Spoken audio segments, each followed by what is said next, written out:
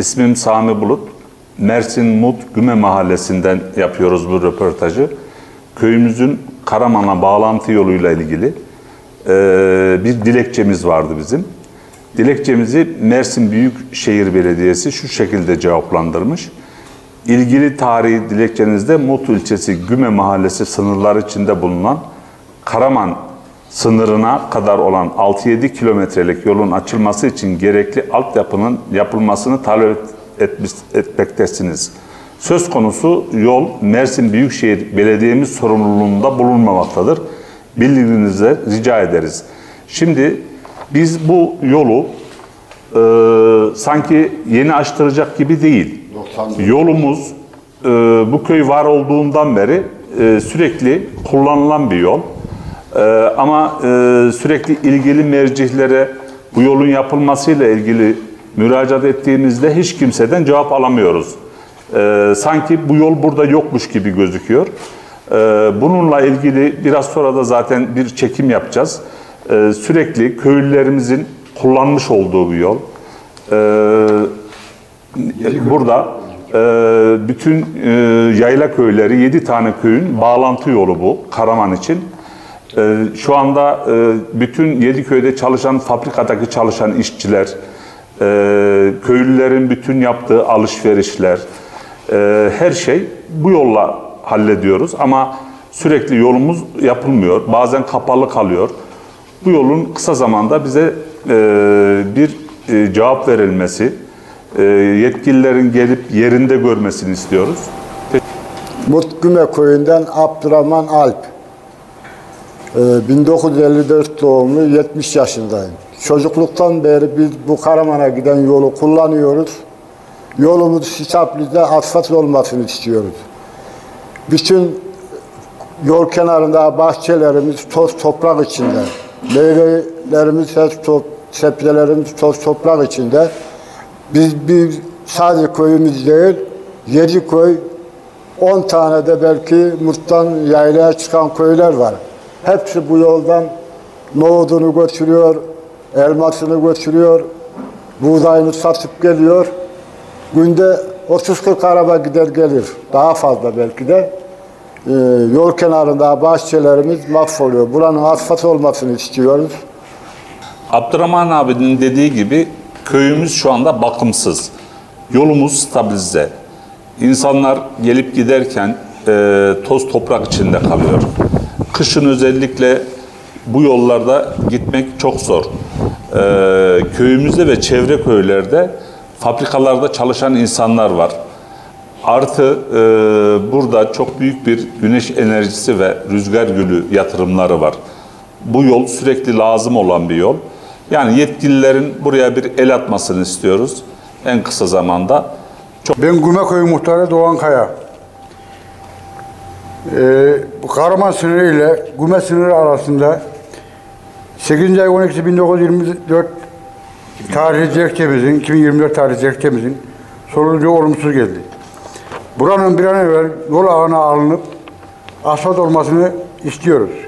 Bütün köylerimizin arkadaşların söylediği gibi bura çok işlek bir yoldur. Buranın e, kenarında bahçeler var, tozdan kalkmıyor. Köyümüzün girişi var, tozdan kalkmıyor. Bütün köyler hep rahatsız, devamlı şikayette bulunuyorlar. Buranın bir an evvel yolu ağına alınıp asfalt, asfalt bulunmuşunu saygılarımla arz ederim. Ben Güme köyünden Hicabi Ülker. 1949 doğumluyum. Bu köy Avrupa Birliği'ne girmiş bir köy. Çok yabancımız gelip gidiyor. Yollarımız bakımsız. Yollarımızda asfalt yok. Gelen bir yabancı ilk evveli orayı konuşuyor. Bu yol neci diyor. Yani buna bir çözüm arayışındayız. Bunu Karaman'la Mut beraber yapması lazım. O ona atıyor, o da ona atıyor. Şimdi gördüğünüz gibi e, bütün köylülerimiz bu konuyla ilgili çok rahatsız. Şimdi size e, köyümüzün yolunu göstereceğiz.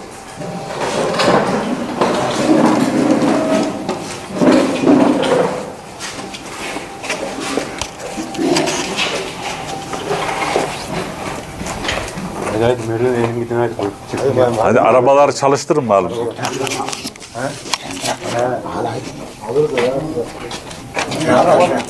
Çalıştırın.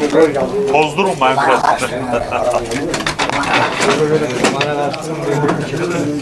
Nereden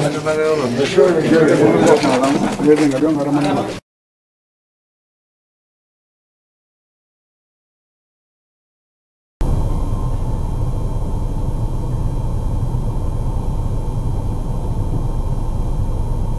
Şu anda e, geçmiş olduğumuz yolun hali bu. Yolumuzu görmektesiniz. E, bu yol e, yaz kış kullanılan e, işlek bir yol. E, Yediköy bu yolu kullanıyor.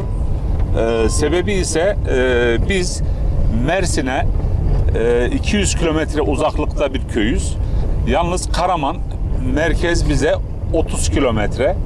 Ee, o yüzden sürekli e, çevre köylüler ve kendi köylülerimiz bu yolu kullanıyor. Hastamız olduğunda yaz kış bu yolu kullanıyoruz. Ee, ama e, kışın kar yağdığında buralar e, çok kötü oluyor. Şu anda da gördüğünüz gibi zaten yolumuzun durumunu e, sadece e, yetkililerden e, buraya bir dikkat edip bu yolları yapılmasını istiyoruz. Gördüğünüz gibi e, tarım arazileri de toz toprak içerisinde kalıyor. Çiftçilerimiz e, bu konuyla ilgili çok şikayetleri var. E, en kısa zamanda yetkililerin duyarlı olup buraya bir yatırım yapmasını, yolumuzun asfaltlanmasını istiyoruz.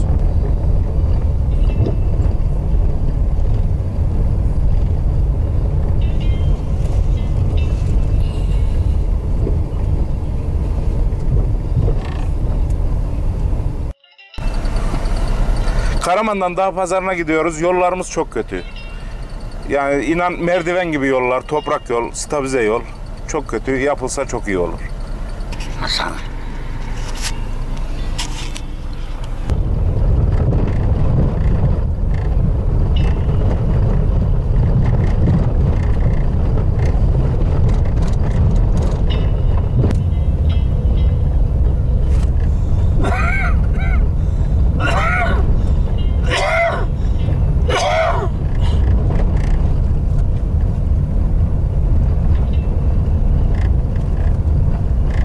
Efendim, Karaman'a giden bu yoldan, stabilize yoldan çok toz geliyor. Bahçemizi bu hale getirdi.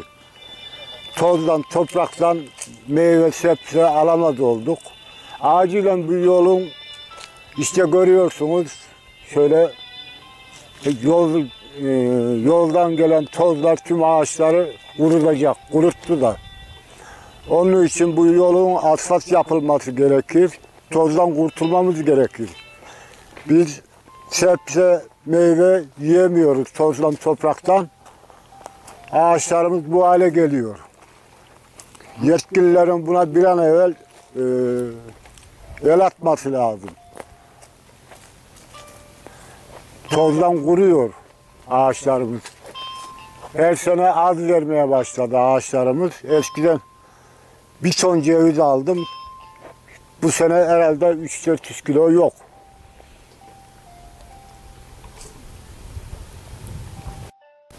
Şu anda toz görükmüyor ama iki gün önce yağmur yağdı. Tozlar yağmur yıkadığı için toz görükmüyor ama şeylerin tozların e, ettiği zararlar çok. Yoldan geçen buradan çok araba geçiyor. Yedi koyun arabası geçiyor. 15 tane de yaylaya çıkan köyler var. Hepsi Karaman'a nohudunu, buğdayını, arpasını, elmasını satmaya gider bu yoldan. Bisküvit fabrikasında çalışan arabalar çalışır. Onlar geçer. Bu yolun acilen yapılması lazım.